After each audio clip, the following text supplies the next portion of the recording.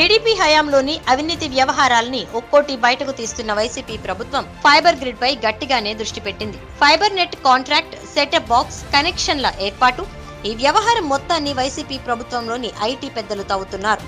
TDP ప్రభుత్వంలో ఈ fibre grid ప్రాజెక్టులో రెండు వేల కోట్లకు పైగా అక్రమాలు జరిగినట్లు మంత్రివర్గ ఉపసంఘం నిర్ధారించింది.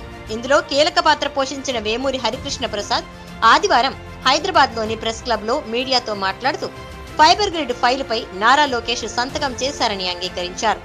ఆ రోజు నాటి సీఎం చంద్రబాబు అందుబాటులో లేకపోవడంతో సంతకం చేశారన్నారు. అయితే అంతలోనే సర్దుకుని లోకేష్ సంతకం చేయలేదంటూ బుకాయించడం గమనార్హం. బహిరంగ మార్కెట్లో అత్యంత నాణ్యమైన సెటప్ బాక్స్ రెండు వేల రెండు వందలకే దొరుకుతూ ఉండగా గత సర్కార్ నాలుగు వేల నాలుగు వందలు చొప్పున కొనుగోలు చేసింది.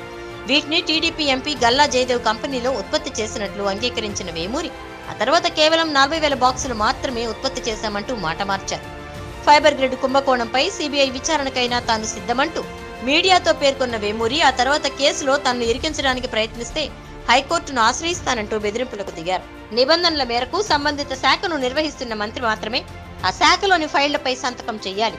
ఇతర మంత్రులు సంతకం చేయకూడదు రెండు వేల పదిహేడులో ఏప్రిల్ మూడున చంద్రబాబు తన కుమారుడు లోకేష్ను కేబినెట్లోకి తీసుకుని ఐటీ పంచాయతీరాజ్ శాఖలు అప్పగించారు. లోకేష్ మంత్రి కాగానే హరికృష్ణ ప్రసాద్ను రెండు వేల పదిహేడు సెప్టెంబర్ పద్నాలుగున ఏపీఎస్ఎఫ్ఎల్కు సలహాదారుగా నియమించారు. అప్పటి నుంచి టెండర్లలో గోల్మాల్ పెద్ద ఎత్తున జరిగింది. లోకేష్ వద్ద ఉన్న శాఖలకు ఏపీఎస్ఎఫ్ఎల్కు సంబంధం లేదు కానీ ఏపీఎస్ఎఫ్ఎల్కు చెందిన ఫైల్ పై లోకేష్ సంతకాలు చేశారు. భారత్ నెట్ ఫేజ్ టూ కి సంబంధించిన ఎంఓయు ఫైల్ పై నారా లోకేష్ రెండు వేల పదిహేడు నవంబర్ పన్నెండున సంతకం చేశారు. BBNL Bharat broadband network limited. రెండో దశకు సంబంధించి ఆ సంస్థకు ఏపీఎస్ఎఫ్ఎల్కు మధ్య ఎంఓయూను ఆమోదిస్తూ సంబంధిత ఫైల్ పై లోకేష్ సంతకం చేశారు. ఇక్కడే లోకేష్ అడ్డంగా దొరికారు.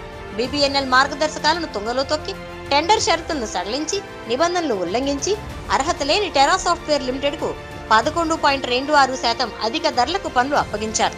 దీనివల్ల అంచనా వ్యయం తొమ్మిది వందల ఏడు పాయింట్ తొమ్మిది నాలుగు కోట్ల నుంచి పద్నాలుగు వందల పది కోట్లకు పెరిగింది. వీటికి కేంద్ర ప్రభుత్వం నుంచి ఎలాంటి అనుమతి తీసుకోలేదు. రెండు వేల పద్నాలుగు రెండు వేల పంతొమ్మిది మధ్య సుమారు మూడు వేల నాలుగు వందల తొంభై రెండు కోట్ల విలువైన పనులను ఫైబర్ గ్రిడ్లో చేపట్టారు.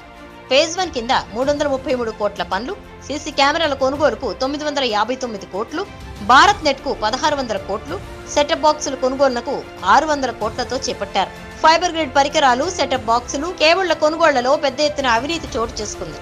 చైనా కంపెనీలతో హరికృష్ణ ప్రసాద్ ముందుగానే డీల్ కుదుర్చుకుని టీడీపీ ఎంపీ గల్లా జయదేవ్ కంపెనీలో నాసిరకమైన సెటప్ బాక్సులను తయారు చేయించి ఖజానాను దోచేశారు.